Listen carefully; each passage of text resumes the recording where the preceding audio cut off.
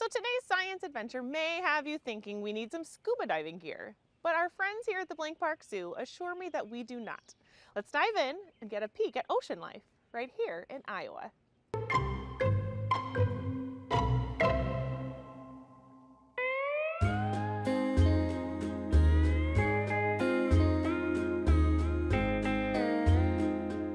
Hi, my name is Anne and I'm from the Blank Park Zoo. Did you know that coral reefs are found in oceans all across the world? Thousands of animals make the reef their home. And healthy reefs are really important for the health of the animals all across the ocean and also people that live all over the world. Right off the coast of Florida is one of the largest reef tracks in North America called the Florida Reef Tract. And right now, the Florida Reef Tract is endangered, and those animals need help. And Blank Park Zoo is really proud to be a part of that solution. And with me today is my friend Dana. Dana takes care of all the fish at the Blank Park Zoo, and she's here to tell us a little bit about the project. Hi guys, uh, so we are one of 15 um, AZA facilities that are taking care of corals from the Florida Reef Tract, as Anne said. These corals could potentially be affected by a stony coral tissue loss disease, and it's very detrimental or really bad for these corals. So what we do is we're holding these corals for several years until uh, researchers can figure out what the issue is and hopefully return them back to the wild. So Dana, Des Moines is really far from the ocean. So how are we taking care of these animals being so far away? Yeah, um, so we took a couple months to set up four aquariums um, or trays for the corals to live in um, for this three-year period. Um, and we make sure that their water quality is clean and um, healthy for them. So we have lots of filtration to help keep that clean. Uh, we do a lot of maintenance and the biggest thing is feeding them and making sure that they're well fed. Do you think you can show us? Yeah, I can take you right back.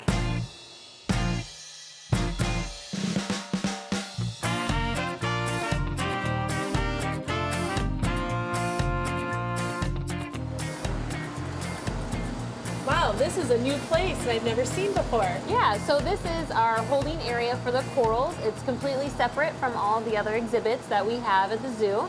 Um, one of the main reasons or one really important thing with these corals is we have to keep them separate so they don't mix any water with any other aquariums. So are all of these different species that you have here? So we have about 10 different species here. Um, program is working with about 26 different species of coral, so we've got um, just under half of those. Um, but it's really interesting. They all, um, even the same species can look very different. Uh, you can have one species that's a bright purple, and the same exact species sometimes looks orange. So it's really, really neat how different these corals really are.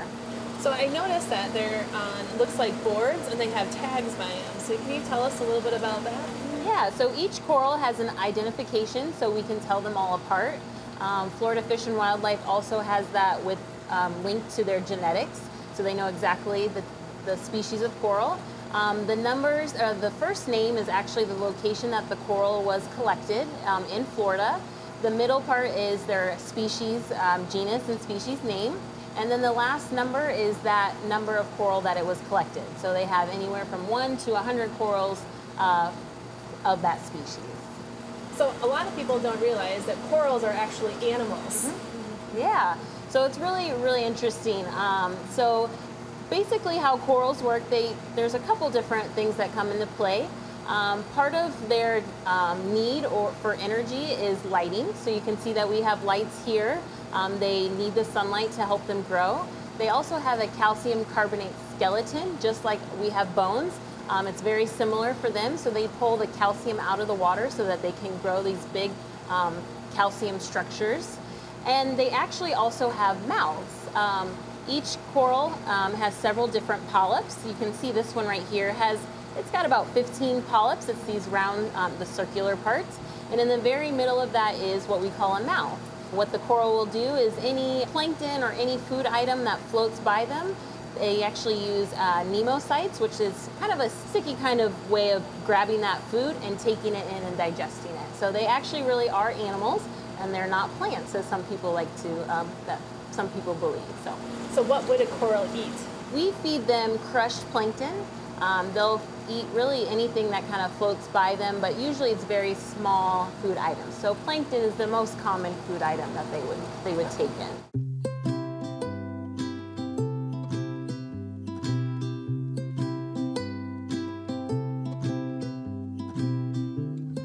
So as I mentioned here, we feed them uh, crushed plankton. Um, we mix it with a couple amino acids, um, really important building block for the corals to continue to grow. And it's really simple. We just mix a little tank water in there as well. We have our turkey baster and we'll suck up a little bit of food, just like that. And I'll actually directly deposit the food right onto the coral mouth.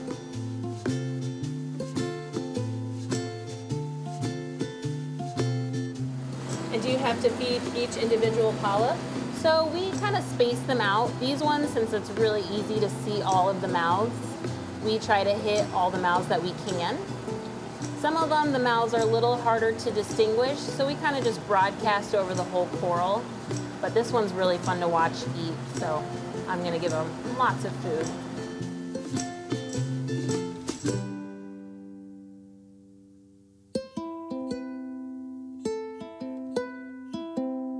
It looks like this one, their polyps are kind of closing. Is that them actually eating? Yep. So yeah, you can see how it's the mouth is deepening and they're actually absorbing all that food and they'll take it in and use it for energy. And so we'll do that with each coral. Um, just kind of spread the food right over those mouths and let the corals do the rest.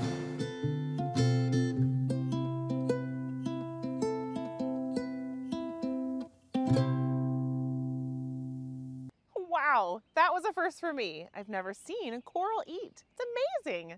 Thank you everyone for going wild with Iowa PBS and the Blank Park Zoo. I'm Abby Brown, and always remember to ask questions and wonder.